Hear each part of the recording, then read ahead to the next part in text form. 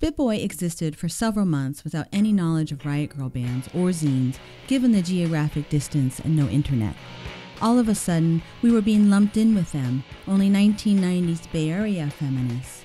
Adult women wanted to be called women, W I M M I N even, because anything less felt disrespectful. When men get to be called men and women are called girls, it highlights the speaker's belief in the gender based hierarchy. Making a point to call ourselves women was a way to bring attention to those inequalities. This was the original reason we distance ourselves from the Riot Grrrl movement.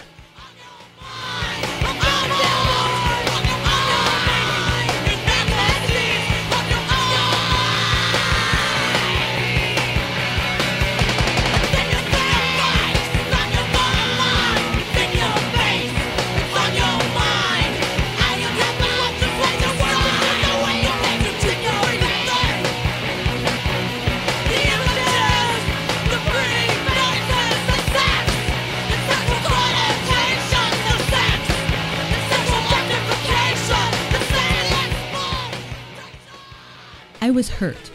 Hurt because people didn't really see me, and I had let it happen.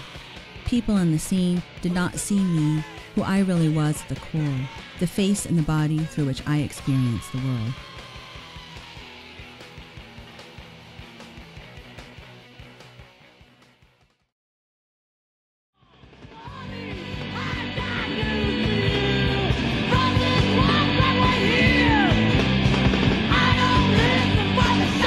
involved in. You take